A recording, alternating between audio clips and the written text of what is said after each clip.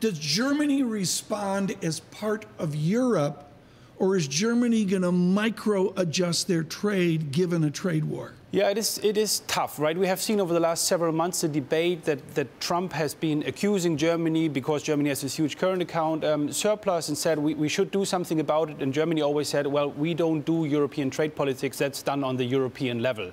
So um, we have seen a response by by the European Union. They came up with a list of potential retaliation targets.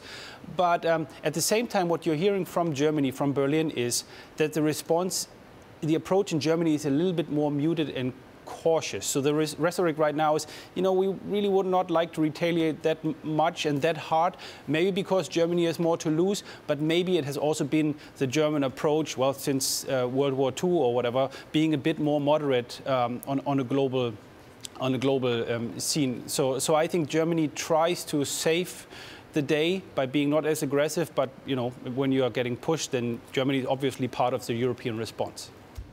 Um, but Harm, at, at, this point, how much, I mean, what's the percentage of this possibly escalating? uh, that is an easy question. no, I mean, obviously... Yeah, with 20 seconds, please.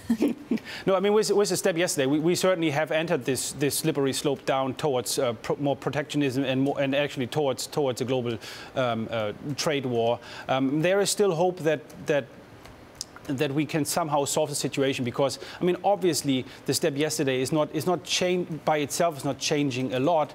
Um, and I think Mr. Trump just wants to use it as a bargaining stick, you know, as a, as a big bargaining stick to push other countries to address the trade uh, imbalances. But I mean, really, it is it is the U.S. who should do the steps, and not not the other countries. It's the U.S. the the divergence between savings and investment that causes this.